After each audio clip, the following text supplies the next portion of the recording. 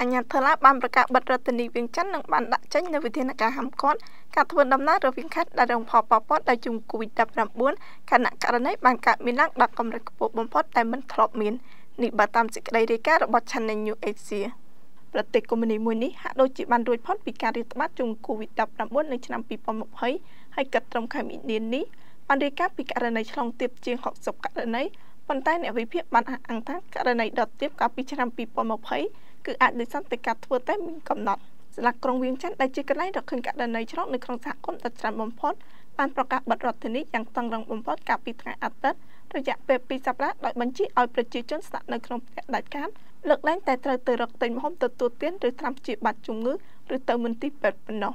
ការបិទគប់នេះគឺដើម្បីបង្ការការឆ្លងមេរោគប្រភេទបំលែងខ្លួនថ្មី ប្រភេទ Delta ដែលមានលក្ខណៈទ្រង់ទ្រីធំ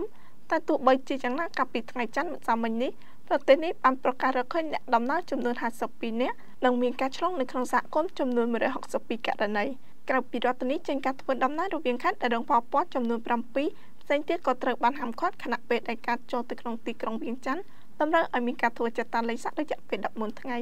ទីក្រុងវៀងច័ន្ទត្រូវបានបិទគប់តាំងពីថ្ងៃទី